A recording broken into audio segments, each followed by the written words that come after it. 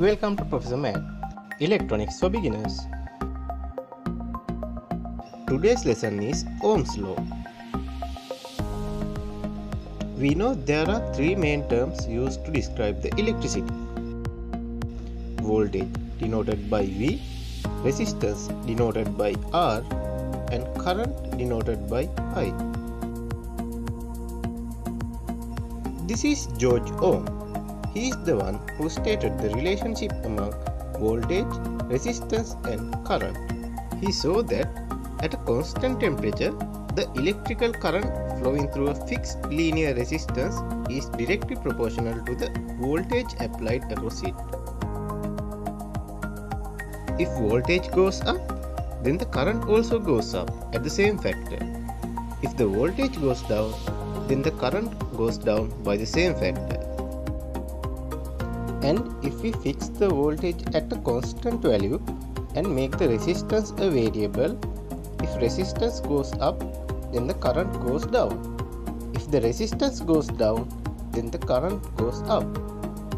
That means current is inversely proportional to the resistance. This relationship between voltage, current and resistance forms the basis of Ohm's law. Current equal to voltage divided by resistance. Let's replace the terms by the notations. I equal to V divided by R.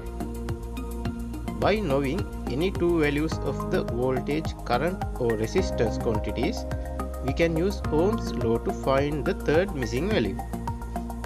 To find the current, we need to know voltage and resistance. To find the resistance, we need to know voltage and current. To find the voltage, we need to know current and resistance. It is sometimes easier to remember the Ohm's law relationship by using pictures. Here the three quantities of V, I and R have been superimposed into a triangle. We call this as Ohm's law triangle. Giving voltage at the top with current and resistance below. This arrangement represents the actual position of each quantity within the Ohm's law formula. Transposing the standard Ohm's law equation above will give us the following combination of the same equation. V equal to I times R, I equal to V divided by R and R equal to V divided by I.